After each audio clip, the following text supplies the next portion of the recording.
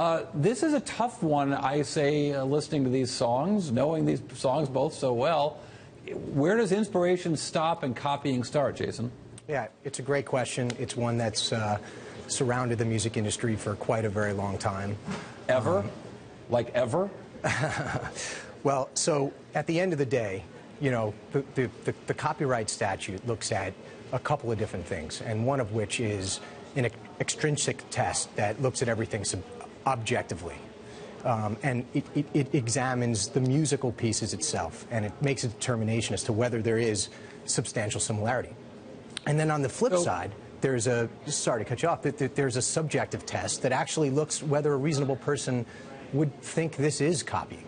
So you have those two pieces of, of uh, thought hitting each other. Uh, and, and, therefore, this, this strikes me as not that similar. I mean, these, these songs are clearly, you know, there's an influence, but who, I mean, what musician isn't influenced by Marvin Gaye since 1980? You know, I mean, you, you, you can't do R&B and not know Mar yeah. Marvin Gaye's work, especially that great tune. Yeah, absolutely. Um, you know, at the at the end of the day, there's a there's a train of thought here that um, that an, an, award like this is actually a big win for music companies and music publishers who own, uh, you know, very large, substantial catalogs, and that the value of these historical pieces of music will go up. But in, in actuality, I think most in the music business um, look at this as a actually a stifling of music evolution because, you know, as you said, there isn't really a situation ever in music where a feeling of an error is is incorporated into new music. And, and at the end of the day, songwriters um, harken back uh, to, you know, to, to, to, their legends to write music. And that's a big part of how art progresses. Uh, in, in the early 90s, as hip hop became very mainstream, the, the music publishing business went from licensing songs to licensing samples. And, and I, I wonder if the evolution of that business and the, uh, the sort of codifying of laws around sampling changed the rules of the road in terms of sort of the interpretation of music or musical influences?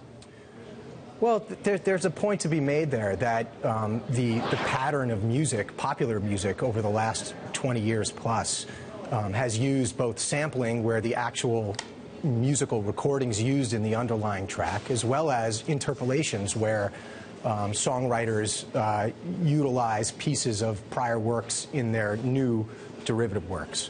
And that has become a very big pattern over the years. You've seen it. Um, you've seen it as you know as far back as George Harrison and Michael Bolton, um, as well as um, a very big case uh, matter that involved uh, the Verve using Rolling Stones song in uh, Bittersweet Symphony, uh, and, and in that instance, the Rolling Stones got 100% of the songwriter royalties. Um, so because well, it was, but it was stolen, right? It was clearly their tune that was recorded and used as a, as a background for that tune. Yeah, in that instance, that is correct. And there was actually an original license in that in that case, um, where uh, there was a license, a sampling license, but the license was um, was uh, it, they used too much uh, based on what the license said they were allowed to use.